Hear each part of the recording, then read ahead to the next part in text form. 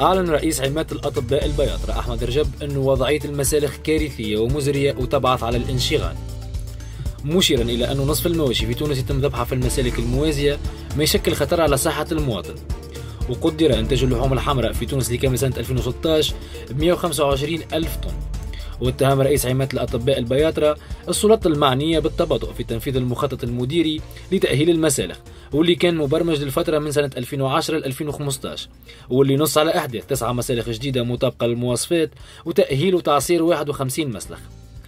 هذا وتم التأكيد على افتقار المسالخ إلى أبسط الشروط والمواصفات الصحية مع الإشارة إلى أن تونس تعد 206 مسلخ. تم إغلاق 46 منها في مرحلة أولى مع اتخاذ قرار غلق نصف المسالخ المتبقية. وأصدرت عمادة الأطباء البياطرة. طبعا لذلك بيان أكدت خلاله على حرص البياطرة على تطبيق القانون واحترام واجباتهم المهنية رغم صعوبة المهمة والظروف السيئة اللي يعملوا فيها.